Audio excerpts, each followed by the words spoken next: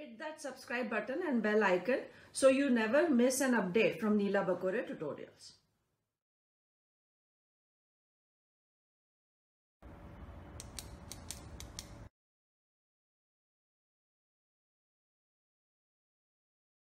In the previous part, we saw the morphological structure of the gametophyte of Funaria.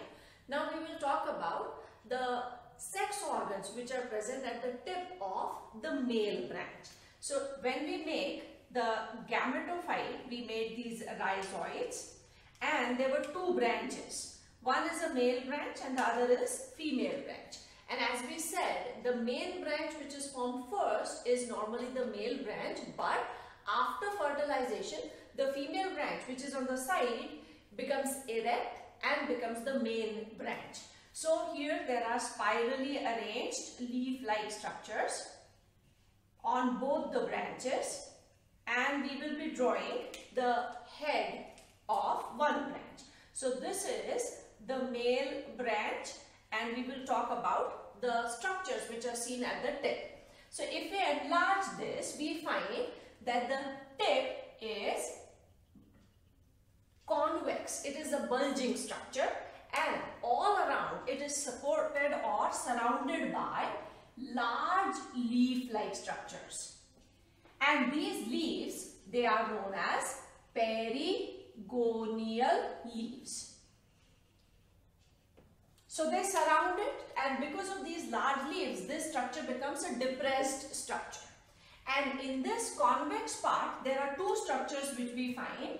One is the antheridium and we will enlarge these antheridia to see the detailed structure. Each antheridium, as you can see, has two parts. It has a narrow stalk with which it is attached here and a club-like oval body. Now, in between these antheridia, there are some unbranched multicellular structure. These structures, they are called paraphyses paraphysis. These paraphyses, they are unbranched, they are multicellular and their tips are swollen. That means the cell which is present at the tip is swollen. All other cells are elongated. And these are in between these antheridia. So we would find many such paraphyses these paraphyses, they are green and photosynthetic. So, one more important thing that they are green in color and they perform photosynthesis. There are two more functions which are done by or performed by these paraphyses which we'll take up in a minute. And this structure is the antheridium in which the male gamete or the sperm is going to develop. So there are many antheridia and there are paraphyses. Now if we draw the structure of this antheridium, we enlarge it, there are two parts. The part which is attached here is a multicellular part which is called the stalk and then there is this club shaped body. So this part is the stalk part and this is the body.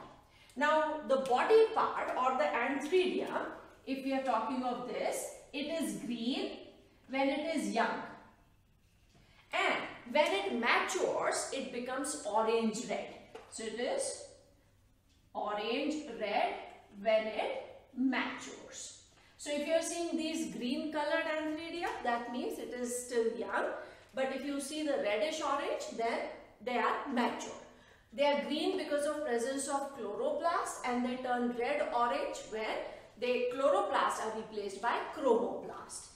Now this, this body, it has many polygonal cells which make the outer layer which we call the jacket.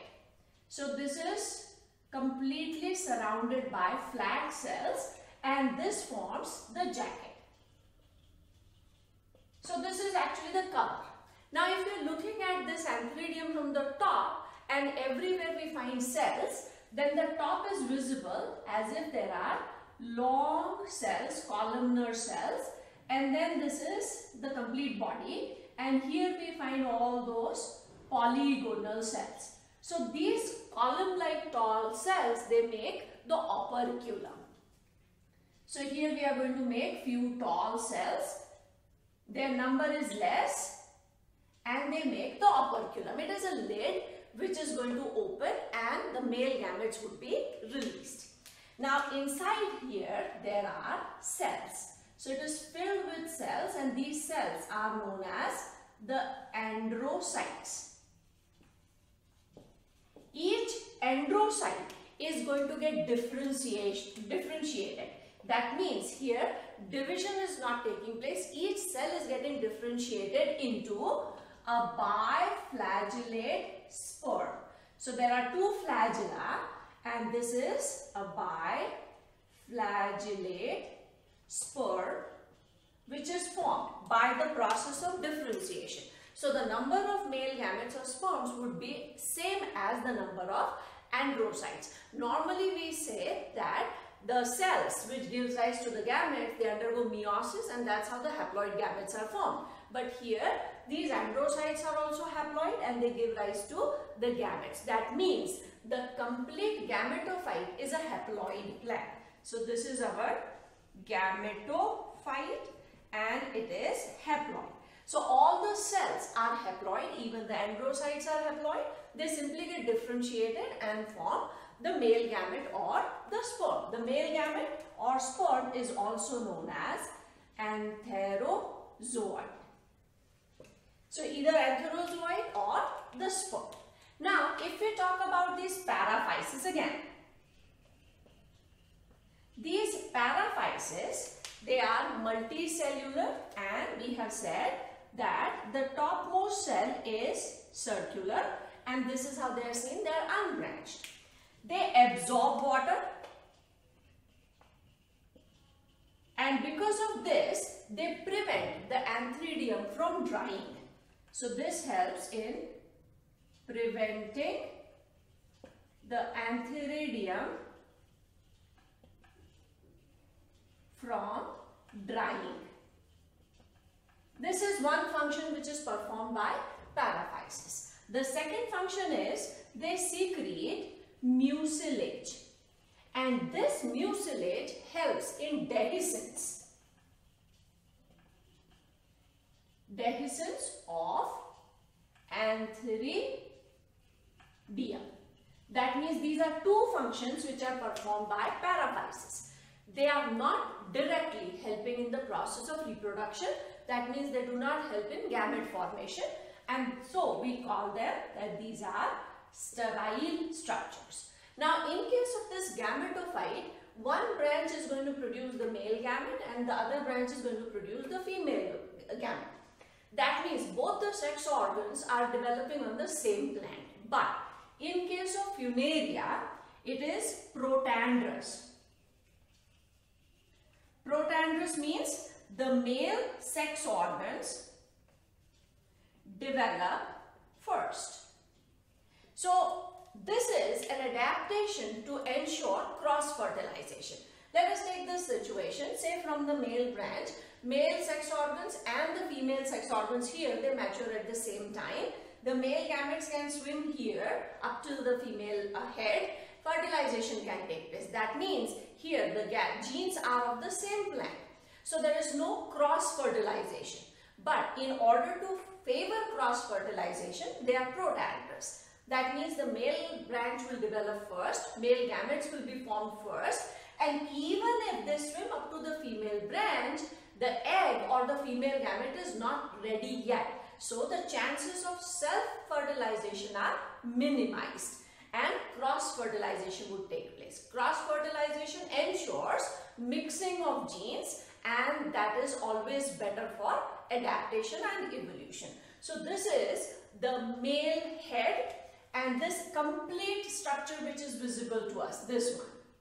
This is known as the male head or it is also known as perigonium. And there are many antheridia, many paraphyses, they are all compactly arranged and these perigonial leaves, they basically surround the entire structure for protection. So now this is the male head and this is how the male gametes are going to get produced. Now in the next part we will take up the female branch, the female sex organ and how the female can